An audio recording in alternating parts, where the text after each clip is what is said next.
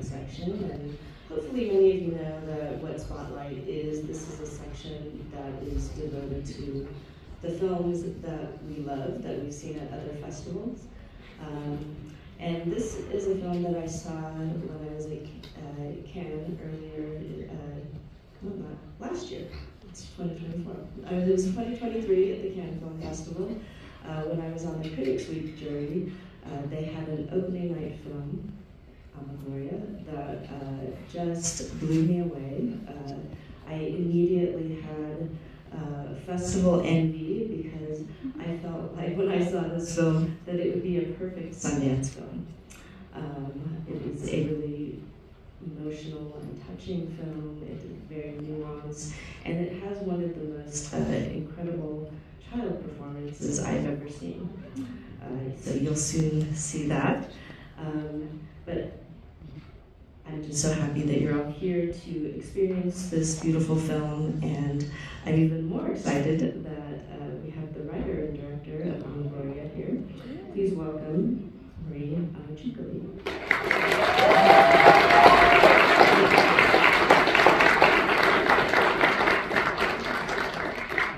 Um, okay, now I have a lot of pressure, um, but uh, I'm not going to be long because talking before the screening is embarrassing, right?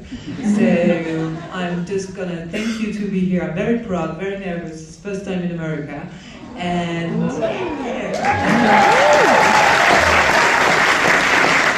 thank you for the spotlight. Thank you for inviting us. And I will be, I will be, sorry, it's difficult for a French girl to say that. I will be very pleased to answer um, all your questions after that, if you have one.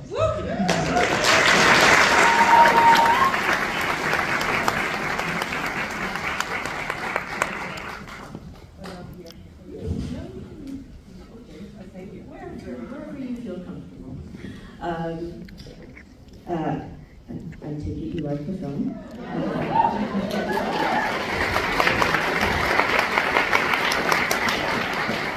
we're, we're just so happy to have the film here and, uh, and that you made it to Park City. Uh, I will ask you a couple of questions and then I'll open it up to the audience because I'm sure that they have questions for you too. Um, well, one, I have to, to uh, mention this in the introduction. Um, the child performance is remarkable. And, uh, and you know, there's always the, the adage of not, you don't want to work with animals or children. Uh, and I imagine because so much of this uh, film uh, rests on her shoulders that it must have been really tricky to find your, your, your actress. Um, yeah, um, that was tricky because um, I have a casting director and I asked her not to go to an agency to find the, the little girl. And actually, she was a bit pissed off because it was more work to do, you know. So she was like, hmm, "Are you sure it's dangerous? Maybe it's better." And I said, "No, please go in the street and find someone." And yeah, sorry, maybe next way. And actually, she she went out of the office and she crossed the street, and there is a little garden. And Louise was there, and she was beating her little brother.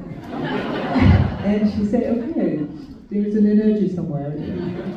So she came back like 15 minutes after our talk with Louise, and we met the, the little Cassie.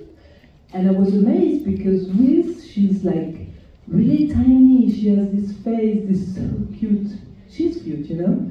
And but you know, she's like 85 years old, you know.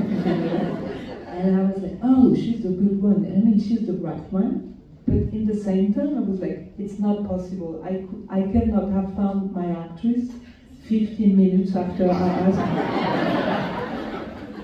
Because normally when you have uh, movies with children, they always have this storytelling, you know. I've met 300 or 3,000 children. I, I went everywhere in France to find the good one. And I was so lucky that it was real.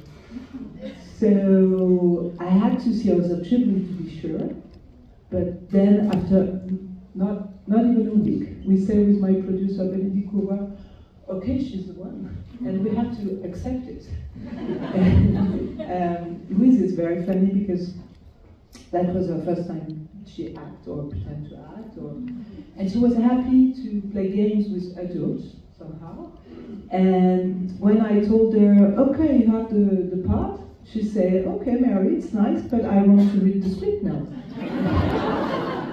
and that was not expected, you know, it was like, okay. So she had a kind of a tiny character.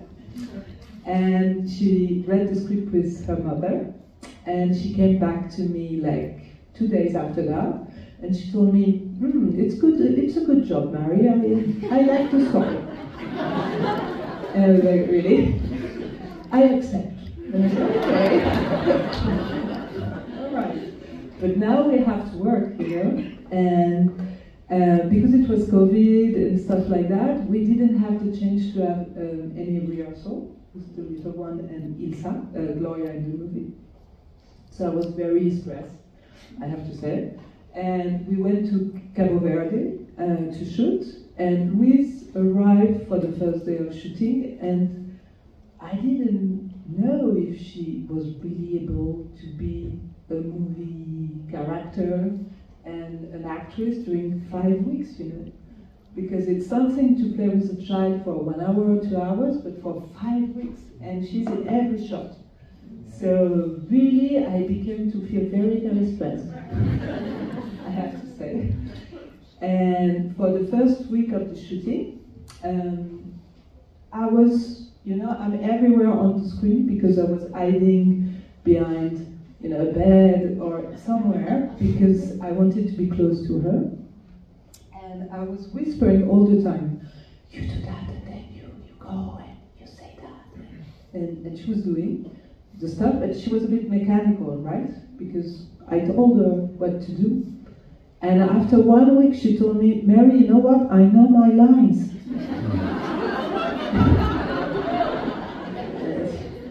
She was six years old, you know, because that's weird. And she said, no, no, I know my lines. So I said, okay, let's try. And moteur, Satur, and she knew her lines. And she understood because I think I was very lucky with Louise because she's a smart uh, little girl and she's very um, attentive she's very she takes care of stuff and she's in, in the present. She's really uh, and she's a very good listener. So when you so i think it's very good for an actor. And then she's smart again. So she wanted to to be nice also with the other uh, who she plays with. So she was very generous you know? She played so then she's just what she is, you know, and I'm just a lucky one, really. And a bit of editing.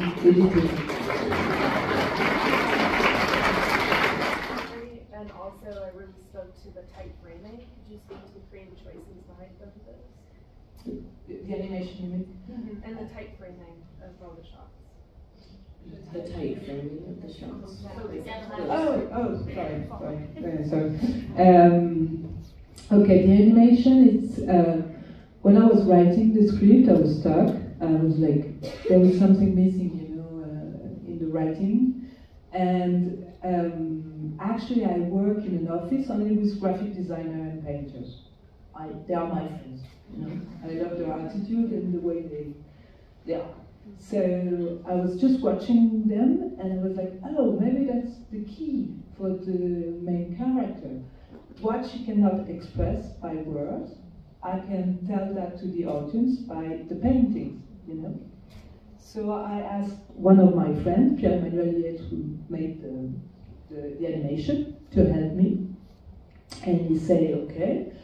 And um, I asked him if we could do that with painting. So it's really painting, uh, frame by frame, you know, like. And he told me no. I said, why? And he told me, you don't know what it is. It's going to be hell. It's going to going to take long. I mean, it's going to take time, you know, and we don't have it, and we don't have the money, so it's no. And I say, yeah, but I love the paintings. I, actually, I go to a supermarket and buy uh, some paintings for him and ask him just to try. And he tries and say, okay, that's nice, so maybe we can imagine something. And actually, don't do that in a movie. Mix live action and animation, it's hell because it's really hell. It's not the same timing, you know. The, and we started the animation before we did the casting, so really long time before. And we finished the animation a long time after the editing of the live action. So for me, it was uh, something. Yeah? It was spotted. And then why the, that? It's because um, I wanted the movie to be really in the eyes of the, the child. And so for me, what is out of the frame is more important maybe than what you see. So, and when you're a child, you, you're there. So you, you have to imagine a lot of things, you know, that you can't see or that you can't understand really properly. So I thought that the former, this one, was the good one for the for the movie. Yeah. Wondering what enabled you to draw on this incredible bond uh, between this child and, and and the woman? If there was anything in your life or someone you knew? Yeah, thank you for asking. Actually, the movie is dedicated to Lorinda, uh, who's, who, who, who, were, who was my nanny when I was young. Um, so um, I grew up with her like, every day, like all the time. And when I was six years old, she told me that she had to go back to her country and to be with her family, right? And I was really sad. Like, it was the saddest day in my life. So you can imagine I have a pretty good uh, childhood because uh, it's okay. um, that, I, I, was really like it was the end of the world. So I refused to say goodbye to her. I could not. It was too awful for me. She was everything for me. And then because we're still very close, um, and she still um, talked to me as um, her daughter. You know, like really um, years after, I was like, oh, I was so selfish when I was young, you know? I never asked myself who she was, where she was coming from, what was her life, and she was only Lorinda, you know? She didn't have a proper name, or, you know what I mean? So, also in Paris, in the street, in the garden, you have a lot of nannies from everywhere. South America, uh, Thailand, wherever. And nobody wants to talk about them because I think it's my guess, maybe I'm wrong, but there is something very taboo in this relationship that um, appears in the house, in the more intimate place ever, the house, you know? And the taboo is from everyone because um, the parents doesn't want to know if there is any love, you know, involved in this relationship. So that's what they pay, you know. That's, and it's a bit tricky when love appears, you know. And for also the little child, it's tricky because you can't say that you love more your nannies than your mother. That's not, you know, you don't tell that stuff. And also for the nannies, because they all, I mean, most of the nannies I've met, they all share the same story. They have children in their country, they have to leave their country in order to raise all children in Western countries. And when they love the children they take care of, it's tricky because, you know, they have a conflict with their own children somehow. So for me, it was something that a movie can, you know, just ask the question, what happens here, you know? Uh, thank you so much for this movie. I also have the same experience as you and felt the same pain. Um, and I still talk to my nanny, um, and we're very close as well. But my question, I'm sorry, I'm still crying. um, how was the rehearsal process getting um, the child and um, Isa to connect in the way that they did in the film? Actually, there were no rehearsal. Oh.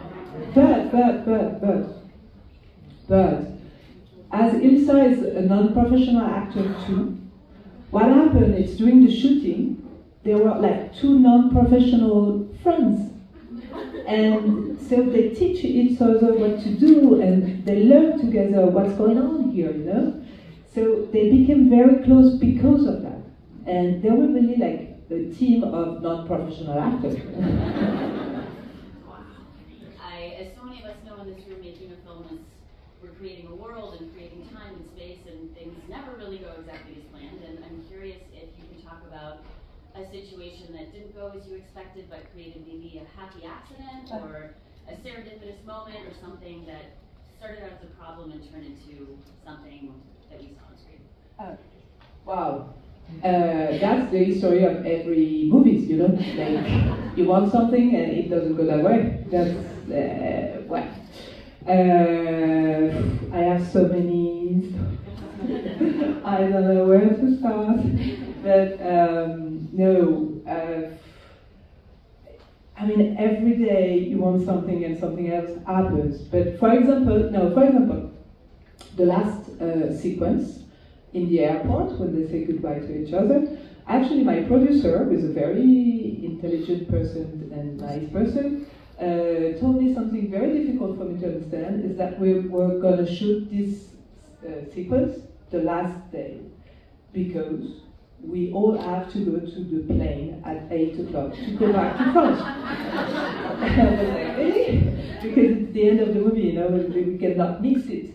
You know, it was like, so again, I was not I was not sleeping that day because really it was when and we were all like with the luggage and we had to go, you know, very stressful.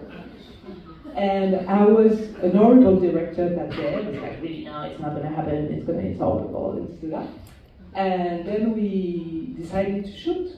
And what is very emotional for me is, um, you know, during the movie, the child cries a lot, and, but in this sequence, Ilça and the child and Wiz, they was really saying goodbye to each other for real, you know, because Ilça uh, was going to stay in Cap Verde for a while, and Wiz was going to take a flight with us, you know, and that was not expected, you know what I mean? But so the goodbyes, they, they, it's a real goodbye, you know. So yeah.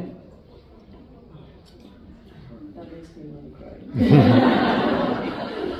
Um, I want to thank you for being here at Sundance. Let's give Maria